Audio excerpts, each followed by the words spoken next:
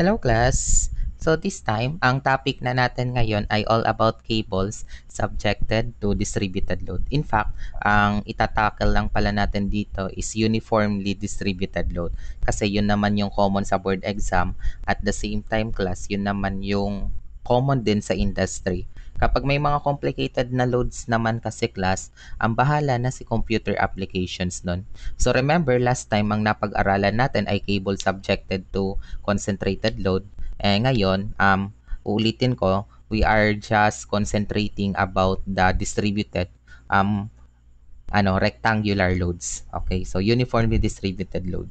So sige, um, simulan na natin class. So sabi dito, For uniformly distributed or rectangular loads class, the cable will form a parabolic shape. The lowest point of the cable or the vertex is the location of the minimum tension, while its highest point is the location of the maximum tension. Okay, so ngayon, ang kaya nga ang tawag natin dito class is analysis of parabolic cables din kasi ang nafo-form na shape ng cable class kapag subjected siya sa rectangular load ay parabola. And hindi lang yun class basta parabola dahil ang nagiging opening class ng parabola ganito. So this will be the parabola. Sabihin na natin na hindi siya symmetrical for the purpose of discussion class. And this parabola is subjected class to um, uniformly distributed load. Ayan siya. So uniformly yan. And therefore, yun na nga, na-form niya yung parabola. And according class sa rule, no? Yung lowest point of the parabola is the vertex. So ito yung vertex natin and this will be the location of the minimum tension, 'di ba? Sabi dito, the point of the cable or the lowest point which is the vertex is the location of the minimum tension while the highest point is the location of maximum tension. So say for instance nga um ito yung support ng parabola normally parehas yan hinge. Parang kanina lang class sa cable with concentrated loading parehas din sila hinge. So therefore, kung mapapansin nyo, uh, mas mataas ito as compared dito sa kabila. So therefore, ang ibig sabihin, dito class ang location ng Tmax. So basta, ang rule natin, the vertex is the lowest point and therefore it has the minimum tension. Habang yung elevation class ng point ay tumataas, yung tension niya din ay tumataas. So ganun lang yung concept ng parabolic cable. So, katulad nga nung mga ibang problems class na sinolve natin or ibang principle. So, the following examples, tatlo ang isosolve ko dito class na example. Um, karamihan sa kanila past board, no? So, those examples will help us to understand the concept of parabolic cable. So, ready na ba kayo? So, I hope ready na, no? So, sige. Um, example number 3, ang laki naman na kasi ng mukha ko, no? Yan, litan ko. So, example number 3, basahin ko lang siya class. The parabolic cable with vertex at B is loaded with 17 kN per meter as shown below. Di ba? So this will be class the parabolic cable. Ngayon, ito yung vertex natin, yung point B. So, ang tanong dito class, no? So the span is 50 meters by the way, halata naman sa figure. Ang tanong, what is the tension at A? Yung letter B, what is the tension at B? Um, yung pangatlo, what is the tension at C? And yung pang-apat, what is the total length of the cable? Okay, so I think um, ready na tayo class na mag-solve nitong problem na to. So I will just skip this one. Sige, prepare the OneNote, no? Okay, so paste natin tong problem natin class.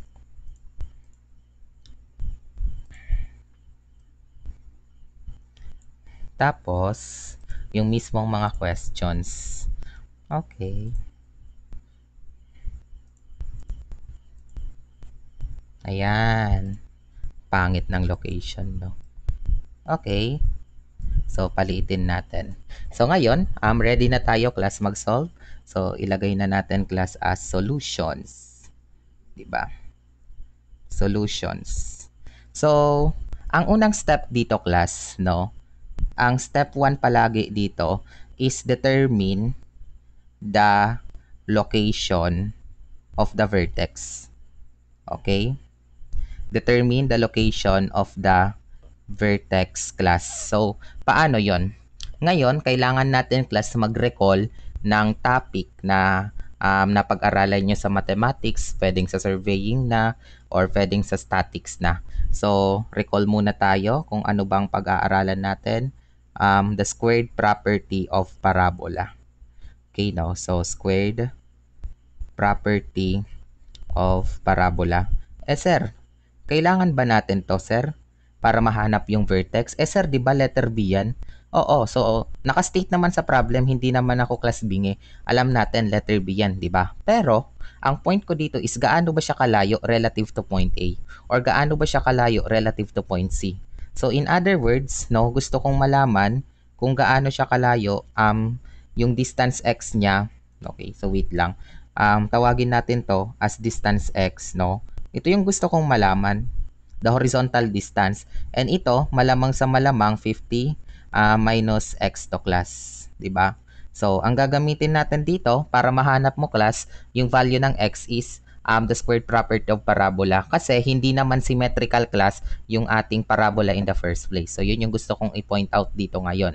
'Di ba? Buti kung symmetrical, halata lang itong 50 meter i-divide mo lang ng 2, eh 25 meter. But for this problem, um, hindi siya. So, therefore, gamitan natin to class ng squared property of parabola. And recall lang natin, 'di ba?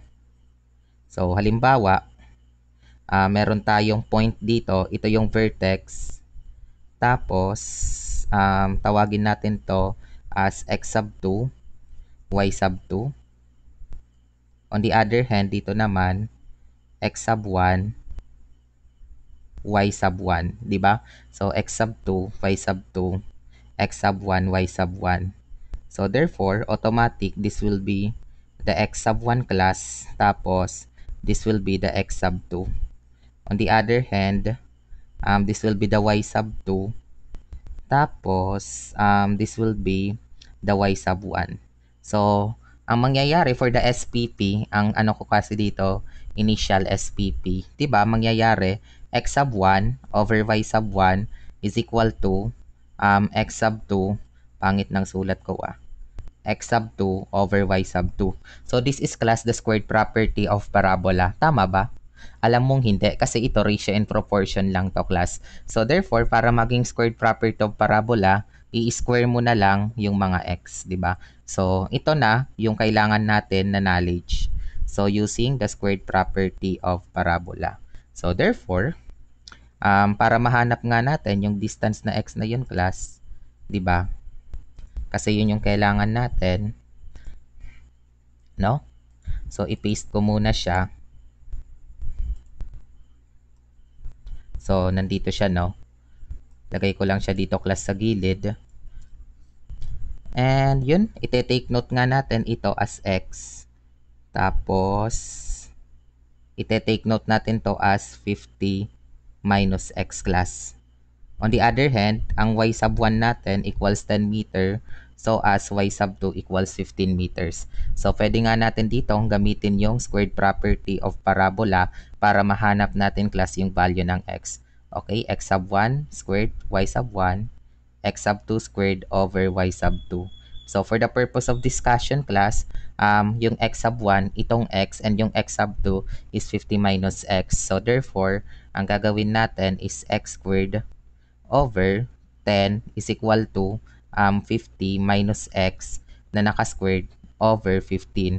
I hope that is clear, no? So, x squared over 10 equals 50 minus x na naka-squared over 15. So, bahala na si calculator dito na mag-solve. Okay? So, sige. Gawin natin siya. x squared over 10 is equal to um, 50 minus x squared over 15. So, ang sagot natin ay 22.474 meter. 22.47, sorry, 4 meters. So, ayan na class, meron na tayong value ng x. And therefore, ano ba yung mga tanong? Yung letter A, what is the tension at A? Yung letter B, what is the tension at B? yung letter C, what is the tension at C, and yung letter D, what is the total length of the cable. So, subukan muna natin class sagutan yung unang tatlo which are the tensions. ba? Diba? So, ang next step class, kung yung unang step is determine the location of the vertex, ang step 2 palagi sa analysis ng cable, 'di ba? Is cut the cable no at its vertex. Okay, no? cut the cable at its vertex. Tapos, ang gusto niyan i-point out, choose the left or right side. Bahala ka na kung anong gusto mong piliin dyan ngayon. Um, right side of the cut. Sorry. So, after mong mag-cut ng parabola sa center or sa vertex mismo, bahala ka kung anong portion nga ng parabolic cable yung gusto mong i-consider for analysis. Pero usually, parehas natin yan i-consider class dahil tanong naman parehas yung A, yung B, saka yung C. Okay? So, halimbawa, um, dito tayo sa figure. Ano ba yung ibig sabihin nung cut? Parang cut lang, method of sections lang class. Okay? Hmm. Halimbawa, dito siya, ito yung parabola natin. Tapos, literal class na hahatiin mo yung parabola sa vertex. O, ayan, nahati na natin siya class. Tapos, bahala kang mag-consider kung anong portion yung um, kailangan mo. Halimbawa, ito munang kaliwa. So, ganun lang. Ito munang kaliwa class ang kailangan natin. And therefore, i-consider mo class itong kaliwa for the analysis. By the way, um, hindi ko pala nailagay pero although yung mga reactions niyan class palaging papalayo okay? So this will be like this tapos pag ganito siya. Palagi class papalayo ang mga reactions niyan kasi analysis of cables nga tayo hindi to analysis of ano um, trusses okay? So therefore piliin ko class itong left section. I-drawing natin yan ngayon dito So akala nga ng karamihan ang hirap ng analysis of cables but in fact isa ito class sa pinakamadaling topic. I mean analysis of mga parabolic cables. Mas madali pa to kaysa doon sa um, concentrated, di ba? So ito point A tapos tawagin natin tong point B. Likewise, um, ilagay natin class yung distance na na-compute natin kanina. Yung value ng x natin dito is equal to, ilan nga siya class? 22 0.474. So, sige. Ilagay natin siya. X equals 22.474. Okay. Tapos, of course, um, kasama class sa nakat, yung distributed load, kasama yan sa i-consider natin. So, therefore, um, magre-reflect yan dito No, drawing natin siya ngayon. So, ito siya class. And according sa problem, this is 17 kilonewton per meter. So, ilagay natin siya. And the vertical distance pala between A and B, kasama yan class, sa analysis natin ay 10 meters. Okay. So, ito na yung ating cable. So, remember the rule the minimum tension is always at the vertex, 'di ba? That is the rule. The minimum tension is always at the vertex. So therefore, ilalagay ko siya dito. And remember class, ito pang kailangan yung tandaan. Ilagay ko nga lang dito no as note. Um, ilagay ko na lang dito sa gilid as note. Um, the tension in vertex no is always horizontal. And yes, tama ang direction na to class dahil papalayo siya. Basta tandaan nyo, the tension in vertex is always horizontal. So therefore, ang tamang sem- uh, symbol dito, it must be um, supposed to be TB as the tension at B. Pero, lalagyan na lang natin siya as T min. Okay? Pero, yun na nga, dahil nga, the tension at the vertex is always the minimum tension of the cable. Likewise, syempre, ang mangyayari, tatawagin natin to as AX. On the other hand, tatawagin natin yun as AY. Kung ano man class ang maging resultant dito, nitong AX class saka nitong AY, automatic yun na class ang tension sa A. So, ganun lang naman yun. Okay? So, paano? The next question is how? Ang gagawin lang natin dito class, sa maniwalat kay sa hindi, equilibrium lang talaga to wala na ditong mga special na formula.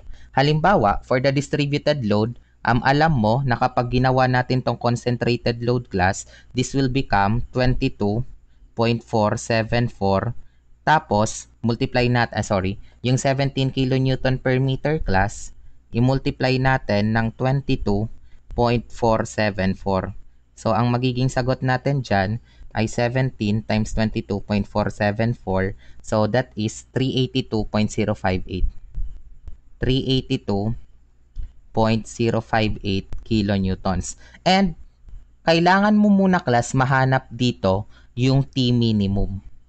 Kailangan mo nang mahanap natin dito class yung T minimum. The question now here is paano? Paano yon?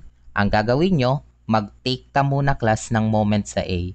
Eh sir, bakit tayo magte-take ng moment sa A? Kung titingnan nyo, wala nang moment yung AX saka yung AY class dahil syempre nag-pass through siya sa A, di ba? Yun naman ang principle ng moment, di ba? Kapag gagawa ka ng analysis, choose the point na kung saan class ang maraming ano forces ang makakancelled. Maraming unknown forces. And ang clockwise moment natin dito class is the distributed load. Kaya nga, kinonvert ko na siya at 382.058. Eh sir, ano yung moment arm niya? Ang magiging moment arm niya class is of course kalahati ni 22.474 class. Dahil yung center of gravity niya rectangle to, di ba?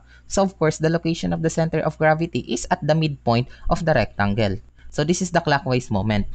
Okay? May kokontra bang counterclockwise moment? Yes, meron. Itong T minimum. Titingnan nyo with respect sa point A class, ang T minimum is a counterclockwise moment. And gaano ba siya kalayo? Tingnan nyo, ang moment arm niya is 10 meter. Kaya nga, may silbi class itong 10 meter na to. And tadan, after nun, Di ba ito lang ang unknown, yung T minimum which is TB? So mahanap mo na agad class. Mahanap mo na agad yung T minimum. So di hamak na mas madali ito class as compared doon sa um, cable subjected to concentrated load. So gawin lang natin summation moment at A equals 0. So that is clockwise moment to counterclockwise moment.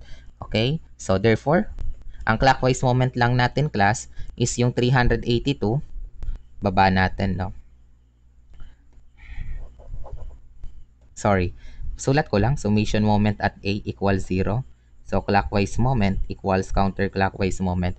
So, therefore, sulat natin as 382.058. And again, ang moment arm nga niya ay 1 half ng 22.474. Okay? Ang counterclockwise moment natin, tawagin ko na lang siya as TB. Pero alam mong T minimum siya class, di ba? And again, ang kanyang moment arm ay 10 meter. So, ayan na mismo class. Yan lang talagang solution niya. So, therefore, ang gagawin natin dito, yung TB ay equal sa, so 382.058. Sa libro kasi ni Hibeler class, may formula pa to, pero ayaw ko yun gamitin. Kaya na to sa analysis eh. 22.474 then divided by 10. So, ang sagot natin ay 429.319 kilonewton. 429 um, 319 kilonewton. And i-highlight natin siya class. Tadan! Meron ka ng sagot doon sa tension at B. So, ganun lang siya class kasimple. Next tayo, para mahanap na natin class yung sa A, ang gagawin mo na lang is i-utilize mo yung natitirang dalawang equations of equilibrium. Halimbawa, summation forces horizontal equals 0, mahanap mo yung AX tapos, summation forces vertical equals 0, mahanap mo yung AY. Okay? So, therefore, ganun na lang ang gawin natin. Summation forces horizontal um, equals 0. So, that is right equals left. So, tingnan natin, ang pakanan class is yung TB. Tapos, ang pakaliwa class is yung AX, di ba? So, yun. Ang gawin na lang natin, i-substitute na lang natin siya class, which is TB is equal to AX. And pwede mo agad ditong i-conclude na yung AX nga is equal to, yung kako-compute pa lang natin class na tension at B, 429 point, di ba? Magiging 429.319 kilonewton. On the other hand, um, summation forces, vertical tayo, equals 0. So, that is up equals down. Okay? So, therefore, ang gagawin lang natin dito class for summation forces vertical, ang upward natin based dito sa free body diagram ng cable class is yung AY lang. And ang downward, itong 382.058. So di ba no, wala naman ng ibang kokontra kay 382.058 kundi yung AY lang class. So therefore, sulat lang natin AY equals 382 0.058 kilonewton. And tadan, meron ka na class agad AX and AY. So therefore, yung tension at A natin, simply take the Pythagorean theorem, AX squared plus AY squared. So therefore, just substitute the obtained values class and that will be equal to um sorry uh, 429.319 squared plus 382.058 squared. So, ganun lang class, di ba? Ang dali lang pala nito. Yes, 429.319 squared plus 382.058 squared. So, ang sagot natin ay 574.703 kilonewton. 574.073 kilonewton. So, ito na class ang tension natin class sa point A. Pasensya na, mali lang pala ko lang nakopya. It must be 574.703 class. Okay, so yun. Buti na lang. Uh, nasabihan ako ng guardian angel ko. Okay, ayan na class. So, meron na tayong tension sa A. So, at least nakaka, ah sorry, nakakadalawa na tayo class out of 4. Okay, so sige, um, highlight natin siya. Nasaan na yon So, ito yung A natin. So, pangatlo, tension at C class, no? Kung ang tanong na is tension at C, kung maalala nyo, yung C natin class ay nasa kanan, di ba? So therefore, um, actually, i-choose na natin or piliin na natin yung right part class ng section natin para mahanap na rin natin yung tension sa C. So yun lang naman ang gagawin natin class ngayon dito. Okay? So sige, para mahanap natin yung tension sa C. So, i-label natin dito ngayon, sana all my label. So, consider the right portion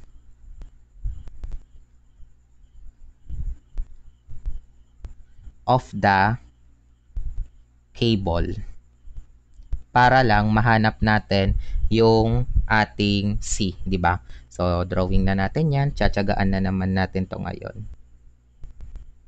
Tapos, lagay natin dito class as yung hinge. Then, last time, na-compute na natin yung class. Di ba nga, yung x natin ay 22.474. So, therefore, itong nasa kabila class ay 50 minus x, di ba? So, therefore, ang gagawin na lang natin dito ay 50 minus 22.474. So, ang sagot is 27 0.526, 'di ba? So ilagay na lang natin 'yung class as the distance naman sa kanan. So 27.526.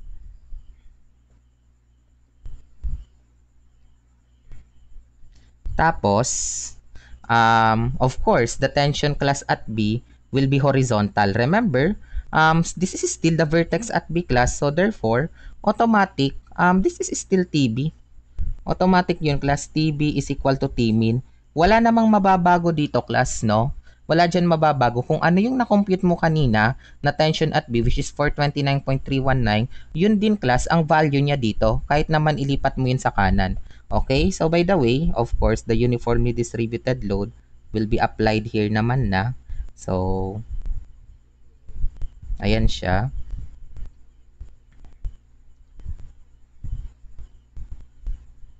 And this will be um, 17 kilonewton per meter, di ba?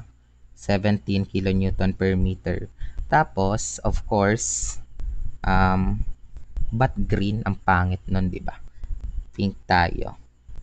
Tapos, ito ay 17 multiply ng 27.526, di ba? So, ilan yan? 17 times 27.526. Ang sagot natin ay 467.942. Tama ba?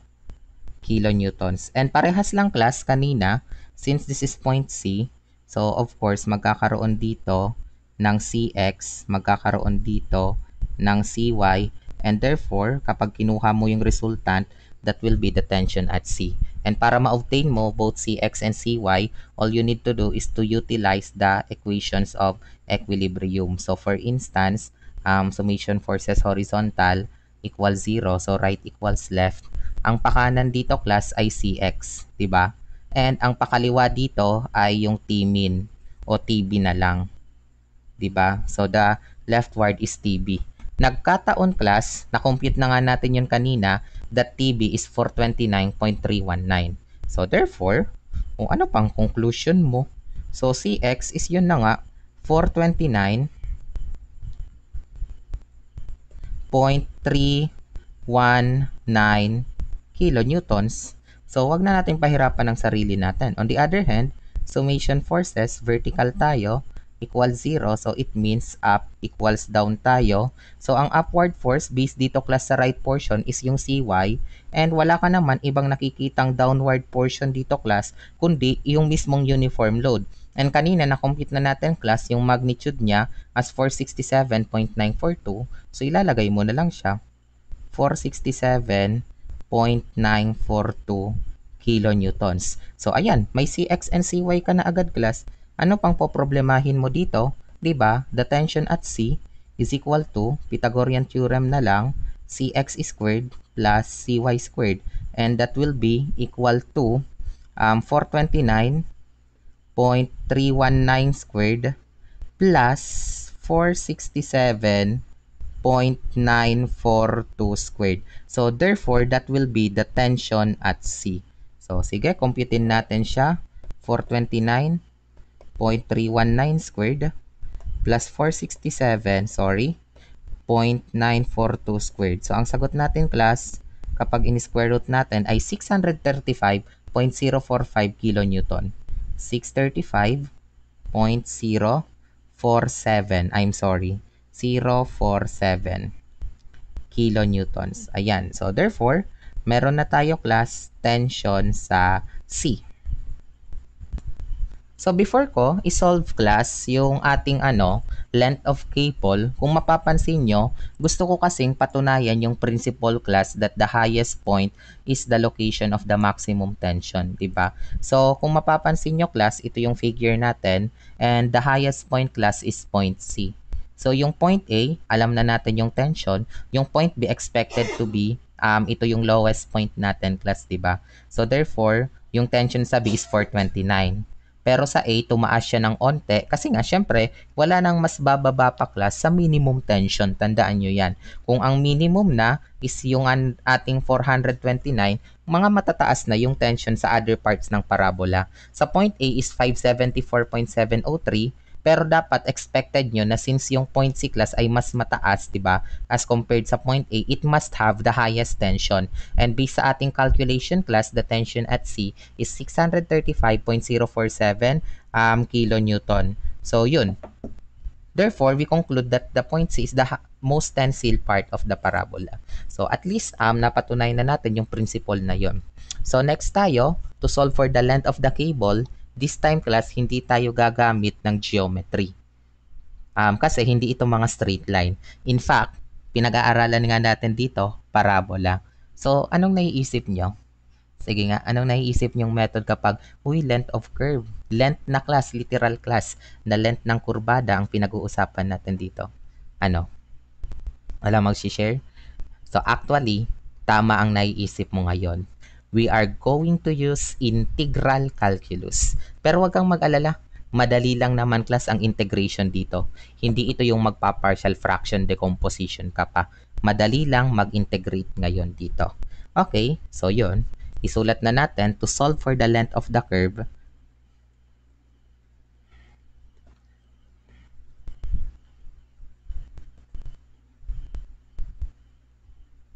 Length of the curve.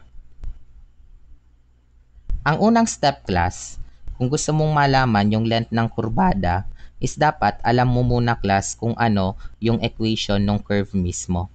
'Di ba? So yun muna class ang unang step. We need to identify the equation of the curve. So therefore, babalik muna tayo class sa ating mahal na mahal na analytic geometry. So yun, kailangan natin ng knowledge ng analytic geometry. So paano yon? Halimbawa class, um, ito yung point o ito yung parabola na pinag-uusapan natin ngayon. So this is the point A, this is the point B, and this is the point C. So kanina, um, na-solve na natin class yung value ng x. Tapos, dito nga is 22 point, check ko lang siya no, that is 22.474. So therefore, lagay ko 22.474. Okay? On the other hand, itong nandito sa kabila is neg uh, 27.526. Okay. So, likewise as well, um, ito ay 10, tapos ito ay 15. So, therefore, ang point B class, ginawa ko siya, yung vertex natin class, nilocate ko siya sa origin. So therefore, the coordinates of point B or the vertex is 0, 0. On the other hand, ang ordinate nito class ay negative 22.7, ah, 474, diba? Sorry. Kailangan ko lang class ilagay yung coordinates. Balikan natin yung analytic geometry. The coordinate of point A is negative 22.474 tapos 10. While the coordinate of C is 27 27.526 time and 15. Okay. So, ayan. Share, bakit to naging negative? malamang 'di ba pag sa portion na to class ng inyong Cartesian coordinate system, negative na 'yan. Kaya sir, 'di ba positive 'yan? Malamang ang dimension positive. Pero in terms of coordinate class, dapat maging um, negative class ang inyong ilalagay. Kasi babalikan natin yung analytic geometry. So maraming branch of math ang napag-aralan agad natin dito. Recall sa ating equation class of parabola, 'di ba?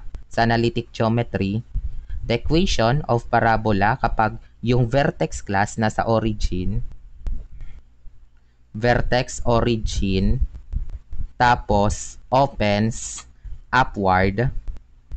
So, ano nga yun? O, check nyo na yung mga libro nyo sa analytic geometry. Ano nga yun? Um, x squared is equal to 4ay.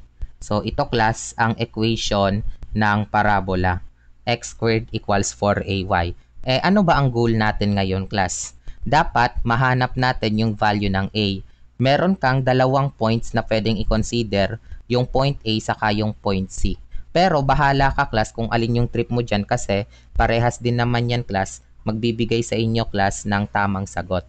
Okay, no? Basta tandaan nyo, ang goal muna natin ngayon dito is mahanap muna yung value ng A. So, for instance, no, for instance class, uh, consider uh, point A, consider point A muna tayo class, no. So, yung x natin dito is negative 22.474, tapos yung y natin dito ay 10. So, para mahanap nga natin yung value ng A, So, x squared equals 4ay. ba? Diba? So, pag sinubstitute nyo siya dito, um, negative 22.474 na naka-squared equals 4a times 10. So, therefore, what will be the value of a here is equal to, so, yun na nga, negative 22.474 na naka-squared equal over 4 times 10. So, ang sagot natin ay 12.627. 12.627. Pero, again, pwede mo nga piliin class yung C. Pag ang kinonsider din naman natin is yung C, so yung X natin na i-consider is the coordinate 27.526. Tapos, yung Y natin ay 15. So, subukan lang natin, um, sorry, subukan natin siya So, wait lang. Sige. x squared equals 4ay. Ang purpose lang natin, mahanap class yung ating ano, no.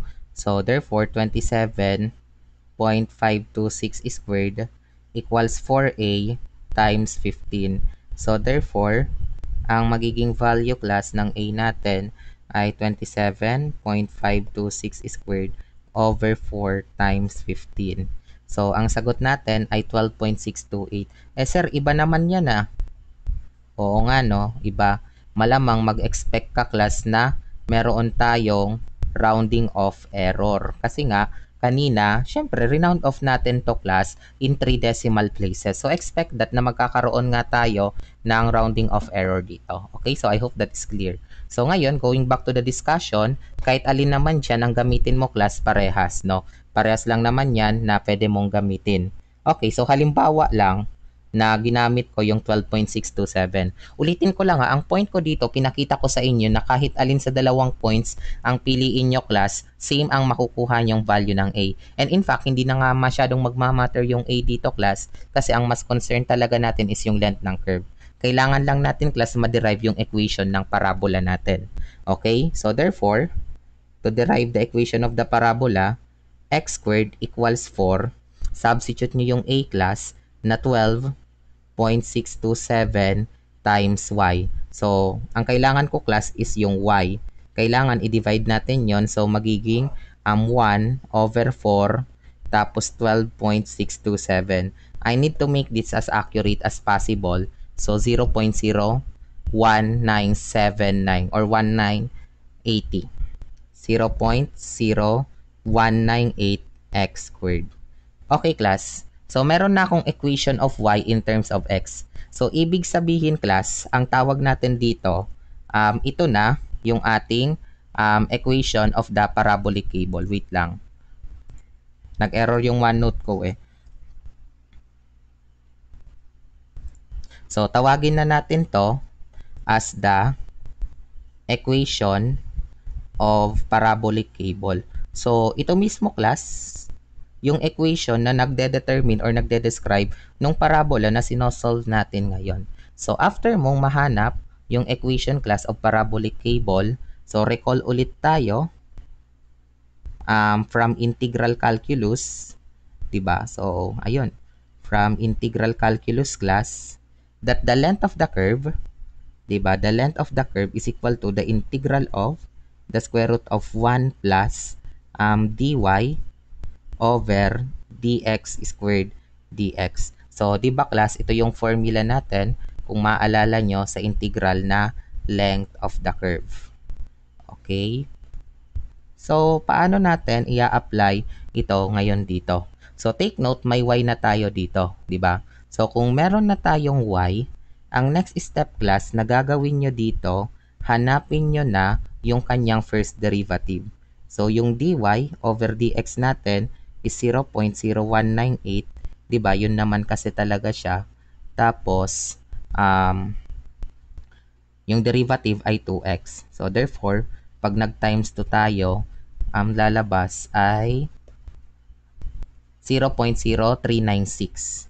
0.0396x. So this will be the first derivative class. And therefore, pwede na natin class makompute yung length simply by taking the integral of the square root of 1 plus yung ating dy over dx class, nakako-compute pa lang natin 0.0396x na naka-squared tapos dx. Ang next question ko ngayon dito class, ano yung ilalagay kong lower limit tapos ano yung ilalagay kong upper limit. So ang magiging lower limit dito class is yung nandito, yung point A, yung nasa kaliwa. And ano yung coordinate ng x? Negative 22.474. So therefore, ilalagay natin siya dito class as negative 22.474. Okay? On the other hand, ano naman yung upper limit? Yung nasa kanan. Yung x-coordinate, yung nasa kanan na 27.526. So therefore, ilagay natin siya class as 27 0.526. And ayan, ang gagawin nyo na lang dito class, literal, na itatype nyo sa calculator. So, there is no ano difficult integral here or integration kasi kaya naman na siya ni calculator, no? Okay, so 0.0396x. Kung ipagbawal man to sa PRC, um, to the rescue naman yung numerical methods natin class, the Simpsons one-third rule, di ba? So, yun. Kasi, di ba sa numerical methods yun? So, negative 22.474 to 27.526. So, this will be the length of the cable class. So, ito na mismo yung total na length ng cable, 57.435. So, 57.435 meters. So, ayan, meron na tayong sagot class. So, therefore, pwede na tayo class maglagay ng summary dahil tapos na. 'di ba? So, i-conclude na natin itong problem natin, class. So, ano ba yung unang tanong? What is the tension at A? So, based sa calculation natin, the tension at A class is 574.703 kilonewton. Sige. 574.703 kilonewtons. Yung pangalawa, the tension at B, this is the minimum tension, di ba? Kasi yun yung vertex class. Nasaan siya? 429.319. 429.319. And lastly class, ay sorry, may TC muna pala. Yung TC natin, which is the maximum tension, is 635.047 kilonewton. So, 635.047 kilonewton. So, ang panghuli is the length of the cable. So, the total length based sa integration natin is 57.435. So, 57.435 meters. So, tadan! Meron na tayo class summary ng ating analysis for this problem. So, dito na natatapos yung example number 1 natin regarding sa cable. So, kung gusto nyong ma-master, I mean cable subjected to distributed loading. So, kung gusto nyong ma-master itong topic na to class, please watch the remaining two examples that I prepare for you. So, yun lang class. Thank you so much and I hope you learned something from me. Bye-bye!